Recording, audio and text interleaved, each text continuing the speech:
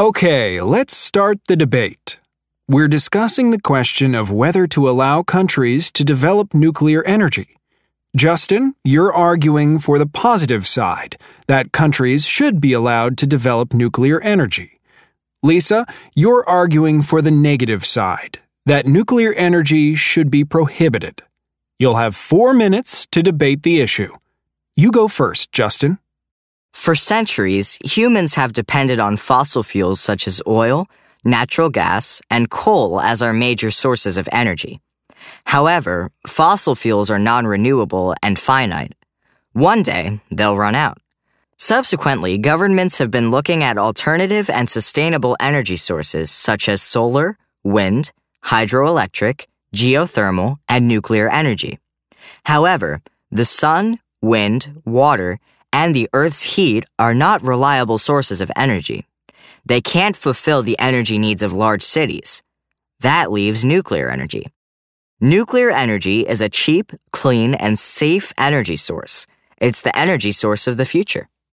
It's not the case that nuclear energy is a renewable form of energy. It's not. Producing nuclear energy requires extracting uranium from the ground, and there is a limited amount of uranium. I'm not in favor of non renewable energy sources, especially fossil fuels, because of the negative effects of carbon compounds on the environment and their contribution to global warming. I believe that scientists will eventually figure out how to make solar, wind power, hydroelectric, and geothermal energy meet our needs. According to a study by Dr. Mark Jacobson, professor of civil and environmental engineering at Stanford University, there are no technological or economic barriers to converting the entire world to clean, renewable energy sources.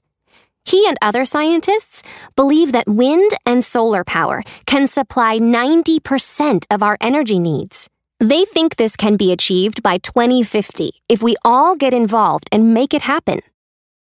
Furthermore, nuclear energy is not cheap, clean, and safe. It's dirty, expensive, and dangerous.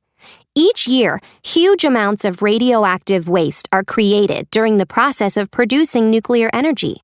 For instance, more than 58,000 metric tons of highly radioactive waste has accumulated at nuclear plants around the U.S. As for safety, the accidents at Chernobyl and Fukushima illustrate how unsafe nuclear plants can be. These accidents caused an enormous amount of devastation to both humans and the environment. The incidents at Chernobyl and Fukushima are examples of what happens to old plants that failed because of highly unusual and extreme circumstances that will probably never happen again. In the past 50 years, there have been a small handful of nuclear accidents. Conversely, coal mining and oil drilling accidents in the past have repeatedly caused severe damage. Did you say a handful of nuclear accidents?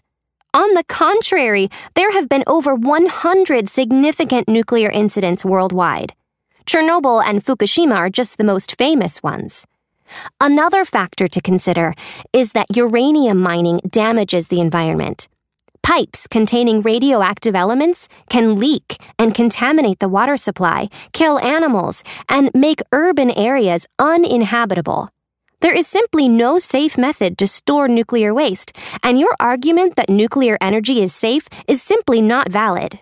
While it's true that accidents have happened, advances in technology will help to minimize the possibility of accidents in the future. It's also true that radioactive waste management is a challenge. But radioactive waste is very small compared to waste produced by other sources of energy. Time's up, students. So, class, who do you think made the best argument?